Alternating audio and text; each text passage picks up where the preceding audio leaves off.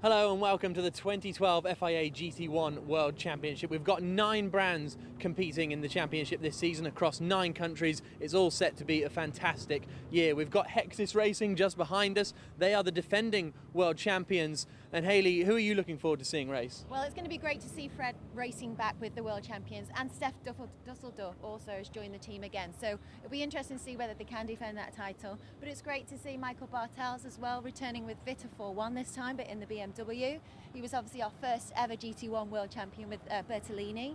Uh, but also we've got so many great GT3 drivers that have graduated from the GT3 European Championship up to the GT1 World Championship. So we have our Michelin Award winner Francesco Castellacci. He's going to be one to watch with his also his co-driver who's Enzo Ide. He was fantastic in the European Championship last year. So looking forward to the racing getting started and what a fantastic day for the weather as well. Yeah, absolutely. We've got some real top quality teams. We're just going past uh, AF Corse, the top Ferrari team in the world competing with us here this weekend.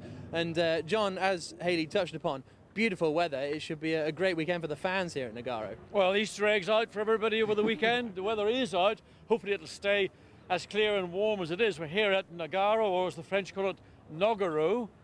And, and it's a very important circuit within the French Motor Racing Federation.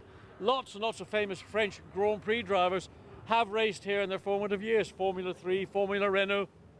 And we're going to have a cracking weekend this weekend with the GTs. 18 cars in the grid, nine teams each of those teams, two cars per team. So we've got just two manufacturers out of each of the nine teams. I'm excited about it. Can't wait to see what's going to happen on the race on Sunday. And then, of course, on Monday, Easter Monday, is the championship race. Not often we have a race on Monday.